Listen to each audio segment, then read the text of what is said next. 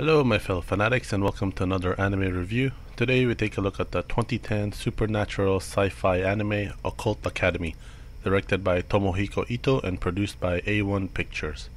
The anime follows Maya, daughter of the former headmaster of the Waldstein Academy, which is the center of uh, supernatural and paranormal occurrences. She becomes the headmaster intent to destroy the academy because she hates the occult but during her first few days, she meets Uchida Fumiaki, a time traveler from the future who was sent to the past to stop the oncoming apocalypse. Uh, the anime is a mixed bag for me.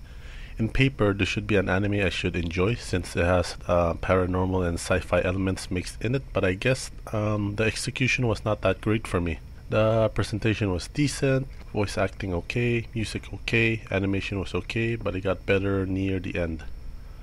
The story has interesting elements, but like I said, the execution was not that good. I think this anime would have done better as a movie or an OAV, not a 13 episode anime. The ending arc was good, but I thought it was predictable. The first 10 episodes were kinda boring monster of the week type stories. It did tie into the ending arc though, but I felt it was uh, weak.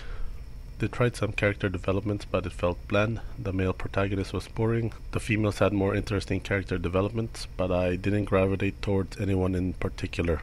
To me, this anime was just plain. There was no spices in between to draw me in, which was too bad since I think this anime was part of a project in which a group of people were going to create animes that wasn't based from a manga. I thought that was an interesting endeavor, and while this offering was not bad, it wasn't good either.